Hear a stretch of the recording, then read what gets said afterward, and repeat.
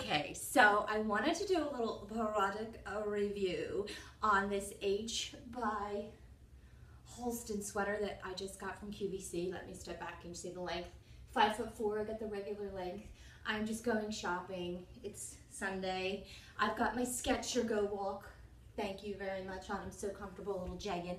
So this really does um, promise everything that it says it's gonna do. Everything that they said, all the ways you can wear it. And I will say, I am an apple, carry my weight in the middle, and when I button this up, it really does slim me out, and I'm not like feeling uncomfortable or like a sausage or anything.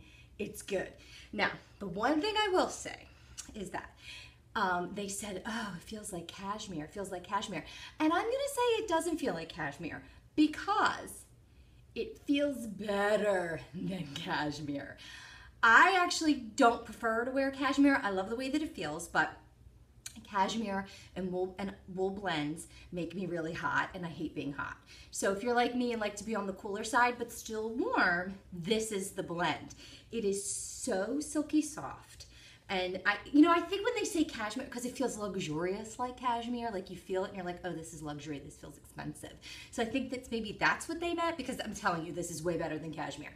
And you really, the buttons, everything they said that it was, I think it was like under $60. And I would say buy it. H by Halston.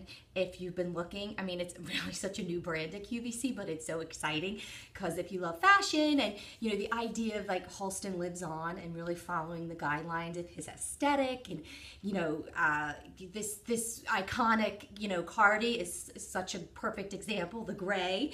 Um, and he was such a pioneer because when he went to JCPenney back in the day, he was like one of the first designers to go mainstream and it was really kind of like snubbed upon by, you know, his, his contemporaries. It was like, oh, you're doing that kind of a thing.